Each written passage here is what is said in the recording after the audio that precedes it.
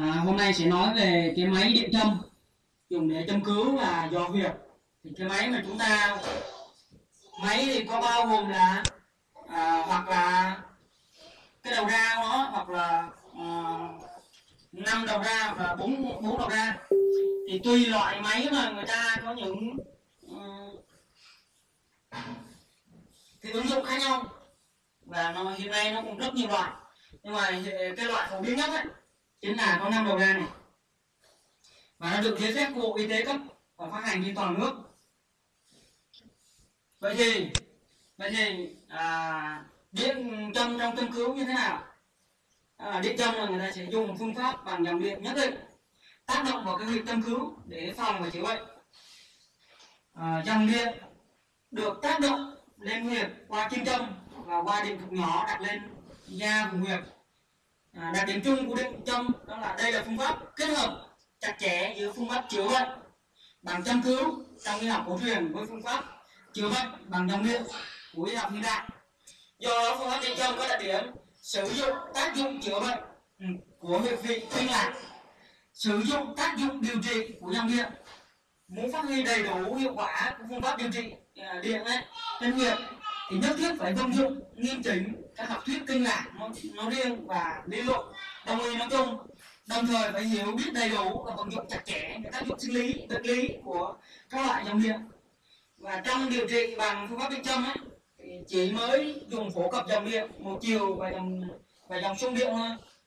Và cơ sở lý luận của phương pháp điện châm theo y học hiện đại đó là những phương pháp điều trị điện ừ, trên huyệt hiện nay có bốn nhóm phương pháp điều trị điện đó là điện trường tĩnh à, điện trường tĩnh điện và ion khí dòng điện một chiều đều và các dòng xung tần số thấp. Điện thế thấp các dòng điện cao cao tầng. Thì à, chúng ta sẽ quan sát à, từng loại các dòng điện khác nhau và từ đó đưa bây giờ chúng ta sẽ à, xem xét các cách sử dụng như thế nào? Thì vậy thì à, thực tế là có rất nhiều rất ít người am hiểu tương tự các kỹ thuật à, cách thức của cây chim ấy của dòng điện để tạo ra hiệu ứng sinh học.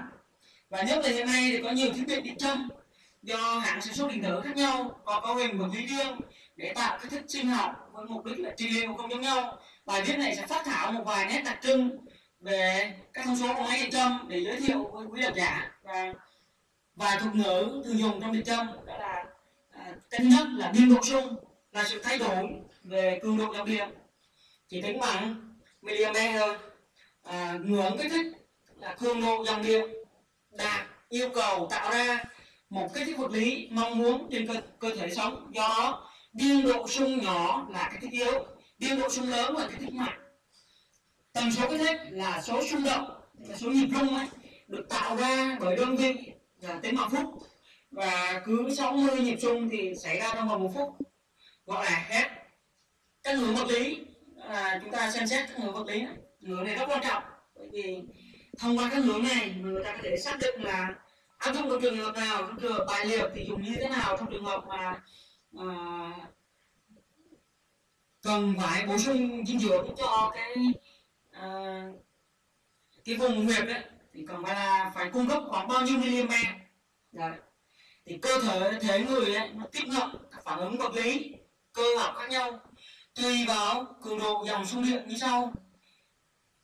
Ngưỡng thứ nhất là ngưỡng cảm giác kín bò khoảng 1 mm ngưỡng này thấp chấp nhận ngưỡng rung cơ khoảng là 1,5 mm ngưỡng trung bình là ngưỡng co cơ khoảng 2 đến 3 mm ngưỡng đau thì từ 4 đến 4,5 mm ngưỡng tê thường là lớn hơn 5 mm những cơ sở trên những cơ sở mà hiểu biết về ý nghĩa sinh học này mà người vận hành máy điện trong có thể xử lý à, tương thích với các bệnh chứng cần điều trị. Ví dụ như là châm tê để nhổ răng thì cần phải dùng ngưỡng là mũi tê là lớn hơn 5 mm ngưỡng rất lớn. Và trong khí hoặc huyết thì cần ngưỡng nguy cơ khoảng cỡ độ là 1,5 mm. Trong hồi phục di chứng ngoại liệt thì cần uh, ngưỡng cao cơ là 3 mm. Vậy thì một phương pháp đó là phép uh, tả và bổ pháp. Trước khi mà chúng ta uh, tìm hiểu về cái này ấy, thì chúng ta phải xem lại À, cái khái niệm về bố tả trong điểm chờ điểm châm. Nguyên lý chung gồm có tả pháp châm với liều lượng kích thích mạnh. Nhớ nha và kéo dài thời gian châm để tạo ức chế lâu dài. Cái ngược ngược hẳn với tà pháp là hào châm tức là lưu kim ngắn trong thời gian. Bố pháp là châm với liều lượng kích thích nhẹ và rút ngắn thời gian châm để tạo hưng phấn và hoặc hóa, hóa khí. Người biết cái ngược hẳn với bộ pháp là hào châm lưu kim trong thời gian dài thông thường thực tế lâm sàng của cái thao tác điện châm ấy mỗi khi vận hành đã pháp bộ pháp người vận hành à, thiết bị điện châm phải lưu ý quy cách của ba thông số tần số cường độ và thời lượng. Vậy thì tả pháp và bộ pháp như thế nào? Chúng ta cần vào à, cần à, tham khảo cần cần phải nêu nêu tìm hiểu cụ thể và phải nhớ nó. Tả là dùng kích thích mạnh cho nên tần số nó phải là từ 4 đến 10 mm 10 h hương độ dòng viêm là từ 2 đến 5 mm thời gian châm là tả là thời gian châm nó nhiều cho nên là 15 đến 30 phút. Bố pháp. Bố pháp thì tần số kích thích nó thấp khoảng 1, 1 à, đến 3 Hz cường độ trong điện à, cường độ xung điện thì sẽ thấp 1 đến 1,5 mm thời gian châm ngắn thế à, bé 15 phút. Và theo kinh nghiệm châm tê để mổ của giáo sư Nguyễn Tài Thu ấy, thì cường độ kích thích là vào khoảng là từ 4 đến 8 mm. Tần độ ờ, tầm tần số kích thích ấy, từ 6 đến 60 Hz nghĩa là ta phải dùng cái kênh thứ kênh K1 này. Kênh K1 này. Từ 2 đến 60 mA mm này kênh K2 này từ 0,5 đến 40 này. Cái khoảng này là chúng ta điều chỉnh tần số và các output 1, output 2, output 3 à, cho đến output 5 này thì là cái khoảng ra à, cái đầu ra của nó. Tương ứng đầu ra K1 thì gồm có ba hướng ra là output 1 đến output 3 à, K2 thì thường có hai hai ngõ ra này. Và trong cái trường hợp này thì chúng ta đang dùng cái máy điện châm là một 592 ET TK21 nhé. Tùy máy mà à, từ mà tùy máy điện châm mà có những cái ngõ ra và có những cái tần số những cái cách xem khác nhau. Đấy. Vậy thì à, các cấu trúc của dòng sung điện có năm loại hình trung điện như sau dòng thứ nhất là dòng Graniver tức là dòng một chiều đều đều không thay đổi nhiều dòng loại thứ hai là dòng Radix tức là dòng điện gai nhọn dòng thứ ba là dòng Leos tức là dòng xung điện hình chữ nhật dòng thứ tư là dòng Dynamic tức là dòng điện hình đồ đồ thị hình sinh dòng thứ năm nữa là dòng Nadiwer tức là dòng điện hình lưỡi cày vậy chúng ta phải quan tâm đến điều gì? Đó là chúng ta phải lưu ý đến tác dụng sinh học. Có năm chúng ta nhớ là có năm loại nhé và mỗi loại người ta sẽ áp dụng vào uh, để mà để mà định châm khác nhau. Và mỗi cấu hình mỗi cấu hình hình thể sinh điện nhằm để đạt được hiệu ứng sinh học thông qua hai yếu tố. Đó là chúng ta cần quan tâm hai yếu tố độ dốc độ dốc của dòng dòng sung và bề mặt rộng hay hẹp độ độ dốc thì là phản ánh là cái mạnh hay không mạnh nghĩa là tả pháp đấy. Còn bề rộng thì nó sẽ chuyển hóa dinh dưỡng nhiều để bổ phát. Như vậy chúng ta cần phải thấy rõ ngay định hướng điều trị của dòng sung điện. Khi thiết kế dòng điện sung là dòng Fradix thì cần cho kích thích mạnh vì uh, gai nhọn nó có độ dốc lớn và bề mặt hẹp. Vì chưa cần chuyển hóa dinh dưỡng. Dòng thứ hai đó là dòng uh, lê đất tức là dòng này là vừa cần cho kích thích mạnh đồng thời là cũng cần cho sự chuyển hóa dinh dưỡng. Vì hình chữ nhật thì có độ nhấp lớn và bề mặt rộng dòng súng đi dynamico thì uh, cái kích yếu và chuyển hóa dinh dưỡng vừa phải. Vì độ thị nó hình xung à, hình à, hình xin nên độ nhấp vừa phải và bề mặt không rộng. Dòng navigo thì kích thích trung bình và cần có thêm sự chuyển hóa dinh dưỡng vừa phải. Vì nó hình lưỡi cái độ nhấp và bề mặt đều đặn. Vậy thì chúng chúng ta dùng cái Ờ, à, phát đồ kỹ thuật định châm ấy chúng ta dùng tùy trường hợp như thế nào? Đấy, chúng ta dùng trong trường hợp nào thì chúng ta dùng ờ, dùng dòng số nào? Đấy, thì chúng ta phải biết cách dùng. Dựa trên nguyên lý mô tả của y châm cứu ấy, là chìa khóa lâm sàng để điều trị tốt các chứng bệnh cấp tính và mãn tính. Máy điện châm là thiết bị thay cho sức người à, làm nhiệm vụ bổ tả nêu, nêu trên. Do đó tùy theo kết cấu điện học của mỗi máy điện châm mà người ta có phát đồ như sau đối với dòng Glaniver thì vận dụng để chữa bệnh mãn tính cho người lớn tuổi. Hiện nay người ta ít dùng cái ờ, cái, cái bệnh này. Bởi vì cái dòng này là này chúng ta ôn lại này. Đây là dòng điện có chiều đều đều không thay đổi nhiều. Đấy người ta ít dùng cái dòng này. Và dòng thứ hai là là Biwer và dòng ờ, uh, Dynamiwer thì vận dụng để điều trị các chứng bệnh mà thể trạng người bệnh cần phải có thêm các kích thích sinh học để chuyển hóa dinh dưỡng ở tổ chức bị bệnh ví dụ viêm phế quản loét dạ dày hen phế quản cho dị ứng. Vậy thì ta cần phải à, lưu ý dùng dòng mà sung Nadiver và dòng Dynamiver trong trường hợp nào. Sau là chúng ta cần phải dùng trong trường hợp là à, thể trạng người bệnh thì à, không có được tốt cho lắm. Và nó phải có kích thích sinh học để chuyển hóa dinh dưỡng vào cái tổ chức bị bệnh đó ví dụ như chúng ta lết dạ dày chẳng hạn. Dạ dày nó bị bệnh cho nên là người ta cần chuyển hóa dinh dưỡng vào vào cái dạ dày. À, thì như thế người ta sẽ dùng dùng cái dòng dùng cái à, uh, dòng sung labiver và la, là dòng kích thích trung trung bình để có thêm sự chuyển hóa vừa phải của nó. Hình lưới chày mà và có độ dốc bề mặt bề răng dòng thứ hai là dòng dynamiver là dùng để kích thích à, yếu và chuyển hóa dinh dưỡng vừa phải. Đồ thị insulin vì nó có đồ thị insulin có độ dốc vừa phải và bề mặt sẽ không rộng. Vậy thì dòng à, Fradic và dòng Lelus vận dụng trong trường hợp nào? Đó là dòng trong trường hợp là chưa suy nhược cho lắm người bệnh vẫn còn à, có sức khỏe trung bình. Ví dụ như có chấn thương mới xảy ra à, bệnh à, mới mắc phải lần đầu thì người ta sử dụng dòng Fradic à, và dòng sung Lelus này. Vậy thì à, như chúng ta ban nãy chúng ta tìm hiểu đó, dòng product thì nó kích thích mạnh vì gai nhọn có độ dốc lớn và có bề mặt hẹp. Vì chưa cần chuyển hóa dinh dưỡng. Dòng lê đất thì có kích thích mạnh đồng thời có chuyển hóa dinh dưỡng. À, cũng cần phải có chuyển hóa dinh dưỡng nhưng ít về hình chữ nhật có độ là dốc lớn và bề mặt rộng. Như thế chúng ta sẽ dùng hai dòng chung là product là dòng gai nhọn và dòng lê đất chúng ta cần sự chuyển hóa dinh dưỡng ít hoặc là không cần chuyển hóa dinh dưỡng mà chúng ta cần phải có kích thích mạnh. Kích thích mạnh để để ờ, để để chúng ta khôi phục cái hiện trạng ừ, như ban đầu sau khi mà nó chấn thương hoặc là mắc phải lần đầu.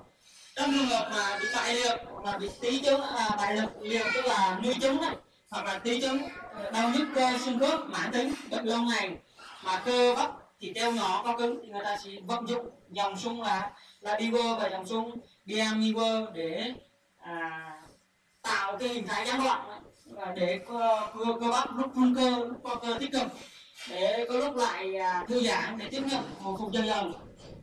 Như thế thì trong trường hợp mà bị bại liệt hoặc là bị đau nhức cơ ấy người ta sẽ sử dụng dòng sung là Nabiver và Dynamiver mục đích để sử dụng dòng này là gì? Đó là chúng ta sẽ khôi phục dần dần cái hiện trạng ban đầu lại. Có sự co cơ và à, và rung cơ. Và người ta sử dụng Nabiver và Dynamiver vì hai dòng này vì hai dòng này thì có sự kết thức yếu chuyển hóa dinh dưỡng vừa phải. Và đối với dòng dòng à, uh, Ladiver thì nó có cái thích trung bình để có sự chuyển hóa dinh dưỡng nghĩa là nó vừa có có sự co rung cơ và nó vừa kích thích mà lại vừa có sự chuyển hóa dinh dưỡng và vừa phải thôi chuyển hóa dinh dưỡng vừa phải. Vì đồ thị của hai hình này thì à, uh, Dynamiver thì nó có hình chim và Lamiver thì có hình lưỡi cày.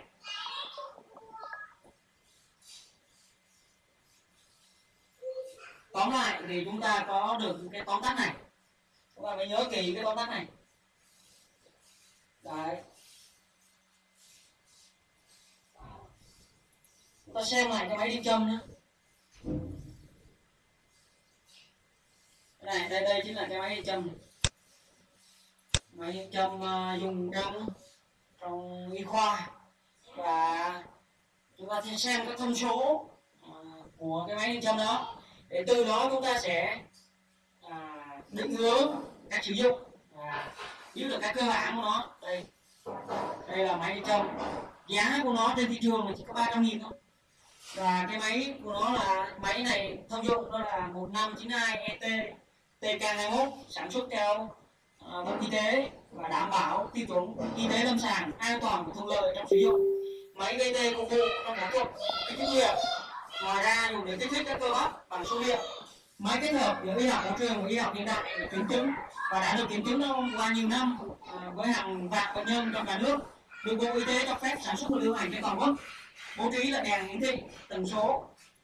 Đèn hiển thị đâu? Đây đây này. Có có cái hai đèn này. Một đèn màu đỏ một đèn màu màu xanh đây. Thì thì uh, công tắc nguồn điện công tắc nguồn điện là thế nào?